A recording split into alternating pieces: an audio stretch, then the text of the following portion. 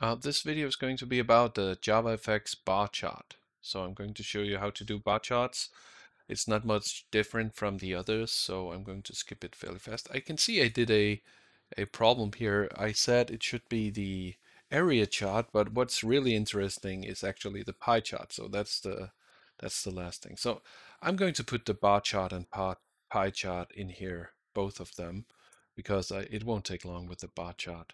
So if I let me try to change this into bar chart. So right now I have like a scatter chart. So I'll change this into bar chart. And uh, of course I need to um, import that. It's already imported like this. I also need to change it in my fxml file.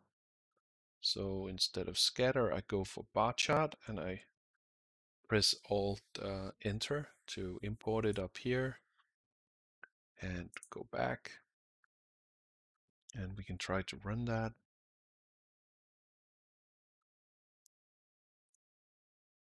And now we can see the drinks that have been sold on different days and for some reason it collapses here. Might have done something wrong here, I'm not quite sure. It doesn't normally do that. If I click again, it, it works. But you can see here, if we put different days here or different uh, week numbers here, we could have charts for the different weeks and this way we could display and it nicely uh, changes the colors like that. So pretty cool. So this is basically the bar chart. I just wanted to show you what it looks like. Um, we could randomize these to get some more cool data. We could also uh, randomize the, the name because now it's drinks sold. So we could say like Let's just do that. I'll just, I already have my random here, so I'll put it here. And then I'm going to say something like do a for loop and do that for, let's say, 10 weeks. And I'm going to say series set name and then say week and then plus i plus, let's start in week 12. And then we'll take all of these, put them in here. And instead of these numbers, I'm going to see r dot next int, and I'm going to say it's going from 0 to 100, or actually 99. And it should be, let's say we're selling at least 10 a day. So we can go back to 90 here, something like that. And let's put this into the others as well. So this will create some some data points that looks a bit more interesting.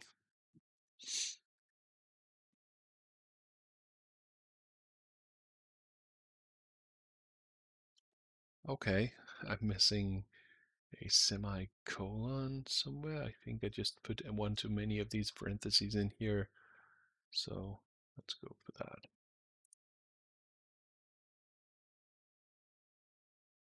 And beware that I'm creating now, um, okay. Doing, this will look weird, I think. Did I press it? No.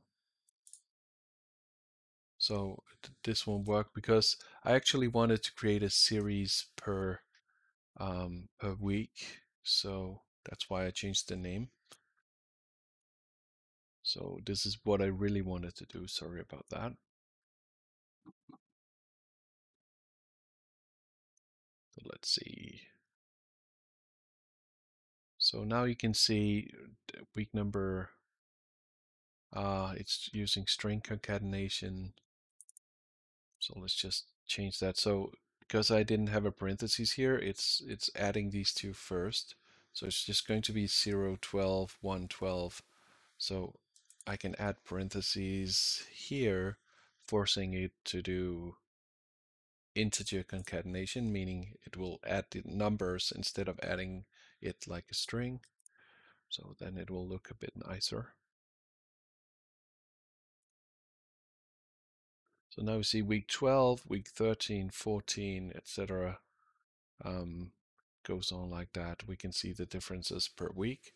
We can even see there's a small spacing in between each day and still for some reason it collapses with the names here. So yeah, I'm not sure. Let's see.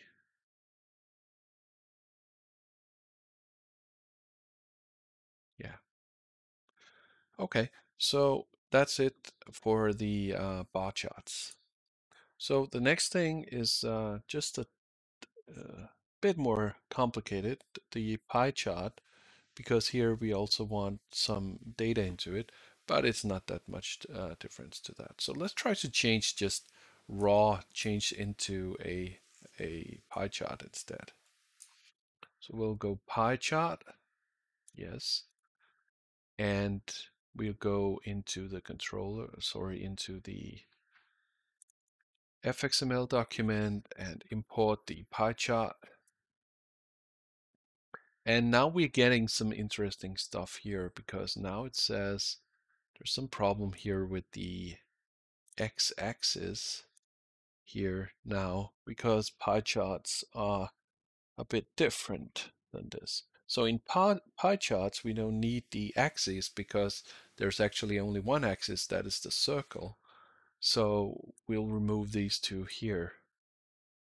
So now we'll just have the pie chart. And the next thing we'll do is that we'll have to put in some, uh, let's go in here. So now we cannot say that we want a string and a number. We need to do something else. So with the pie chart, we don't have anything like this. We don't have the x and y axis, so we're just going to define this as a pie chart. We don't need the x and y axis of, of the pie chart because there is none. so now we need to uh, some way put some data into the pie chart. So we do this a bit differently. We're going to say observable list, and then we're going to say an observable list of pie chart data. That is what we have. And the pie chart data,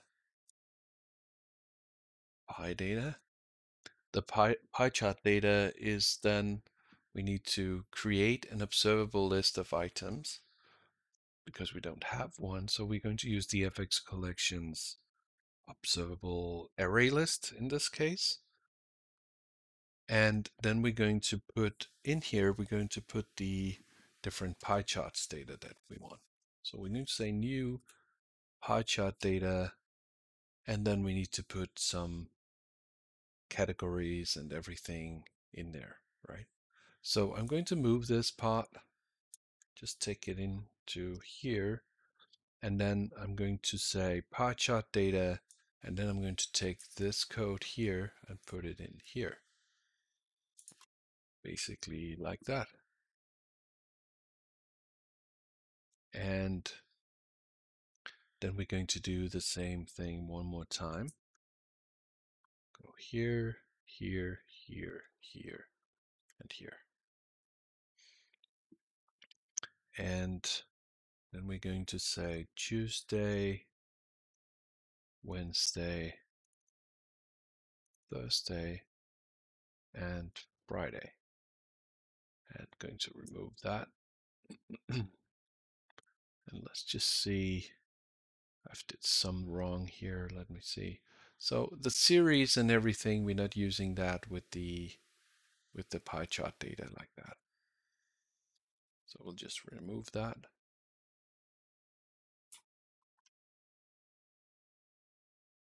Uh, we need to add the series though.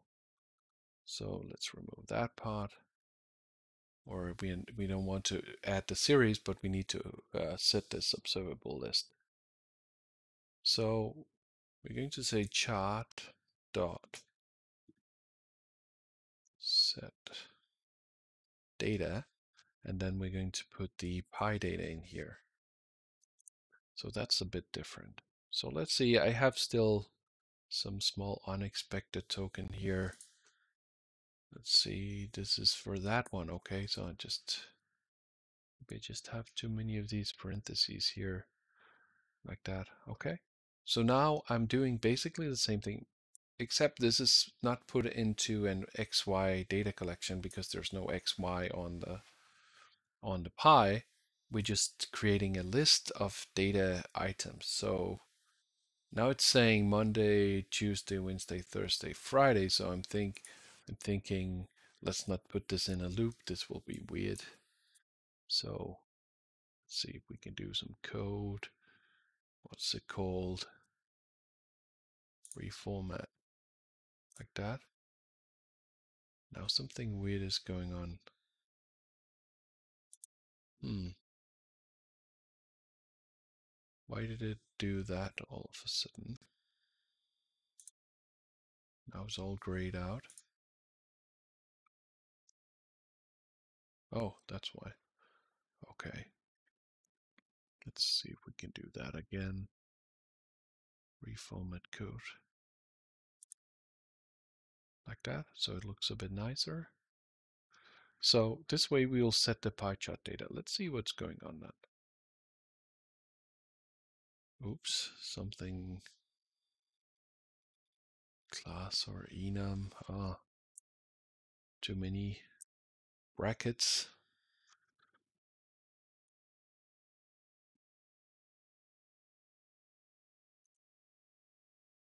So this is what it looks like. So we have our, our pie here and we put different um, sizes into it. We can't see the actual sizes here. We can configure that if we want.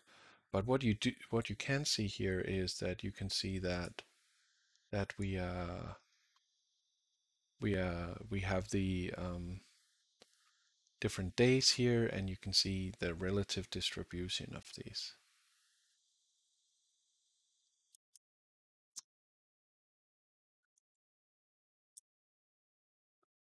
Okay.